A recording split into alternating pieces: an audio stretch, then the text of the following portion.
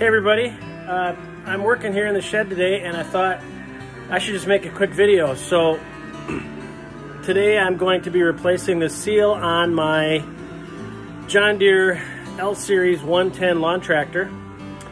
Um, give you a little backstory, had to fix the governor last week. The governor was out of control. I'm not talking about Tony. I'm talking about uh, the governor on my uh, L Series tractor it was running super high, so I had to take the motor apart to fix the governor. Well, I'll show you that here in a little bit. But I uh, was mowing the other day and I was losing power. And what was happening was, I'm watching Adam 12, I gotta mute it. So I was running out of power and I couldn't figure out what's going on. Well, I looked underneath to see if one of the belts were loose and what was happening was my mower was uh, losing all its oil and it was coming out the main oil seal on the oil sump underneath the engine and I'm going to show you what that looks like. So I've already got the engine off of the machine. I should have shown you how I did that, but I just thought about making a video, so let me show you. Here's my tractor, my John Deere L-Series tractor, 110. This is, you got an inside view of the power shed here. Ooh, there's a mini bike. So I've got the uh, engine off the tractor and the engine is here on my bench. I've got it upside down.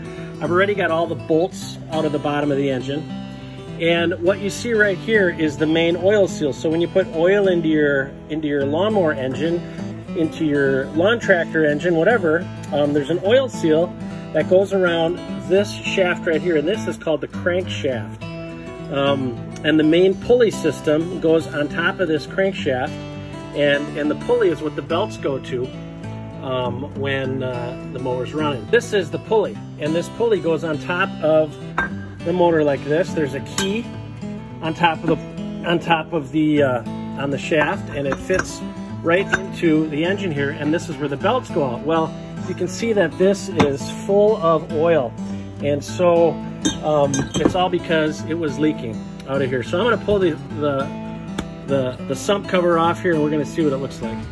Okay, so what I've done is I've pulled the bottom of the engine off um, and I'm gonna show you what that looks like and then hopefully I can show you how to take that seal off. Um, I've taken the bottom oil pan off of this engine. So here is um, the oil pan, it's off of the engine. Uh, here is the guts of the engine. Isn't this exciting? And I should I should give you a lesson on how this all goes back together, but I'm not going to right now. That could be another video someday.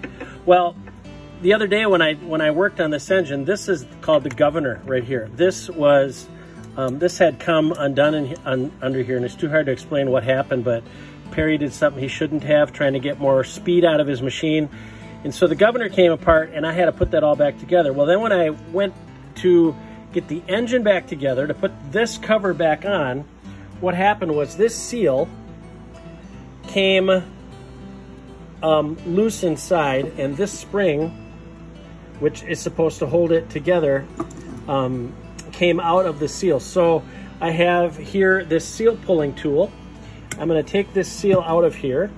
I'm trying to do this all one-handed. So there is the seal and I've got a new one on order. It's supposed to be here tomorrow.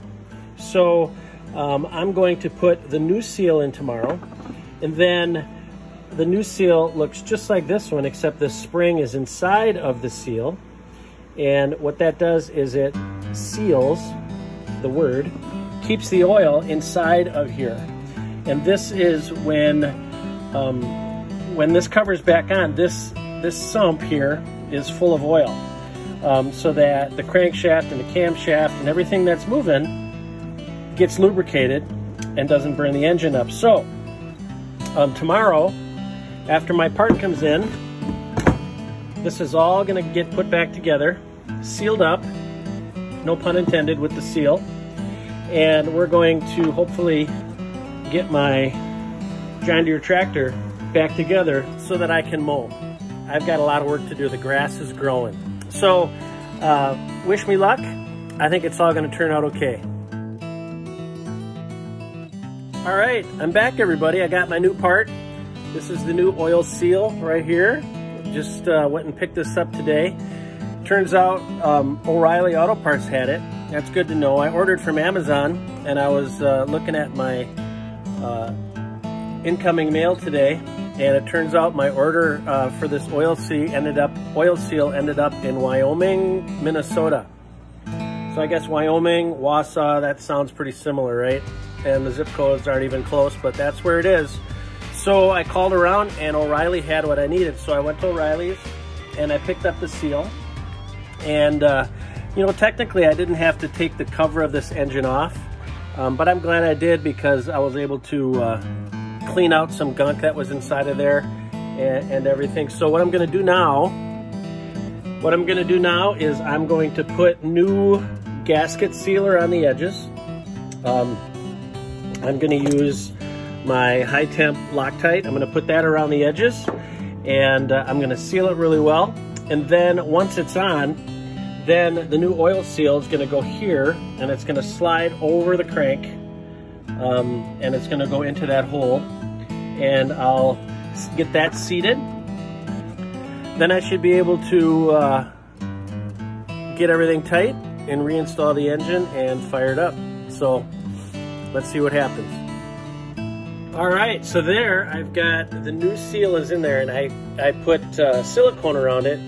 Was doing some reading and uh, watching some other other videos from other guys and uh, once the seal's in and it's seated, why not put a little little black silicone over the top of it just to give it a little extra protection. So that's what I did. We'll see how it turns out. Not too worried. So there we are. It's all, the cover's all bolted on. Now what I'm gonna do is I'm gonna flip it over and I'm going to mount it onto the John Deere tractor. Okay, the engine's on. I uh, have everything hooked up. I still have some electrical wires I need to hook up yet. Hook up the throttle cable I just added two quarts of 10W30 oil and I'll uh, button it up, put the cover on, and we'll see if it starts.